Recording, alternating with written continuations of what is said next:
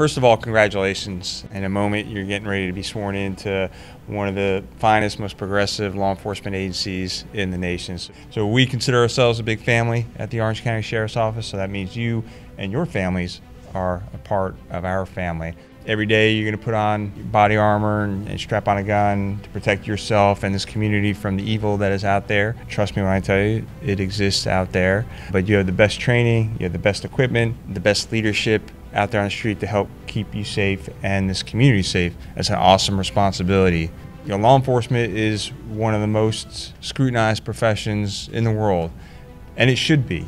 All right, we welcome that scrutiny, we welcome that accountability and transparency, and uh, we want you to remember that when you are out on the streets representing the Orange County Sheriff's Office and, and wearing that uniform.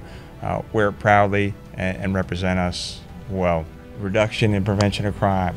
Uh, that's our, our, number one responsibility, uh, making it uncomfortable for the bad guys to operate in Orange County and keep our citizens safe. But with that, and infused in that is community engagement. There will be those opportunities. Take those time to have those conversations with the people in our community.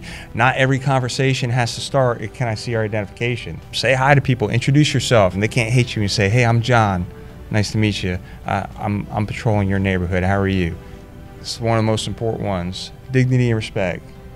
Treat people with dignity and respect at all times. Treat people like they're your own family. We are happy you're here with us at the Orange County Sheriff's Office. We're looking forward to it.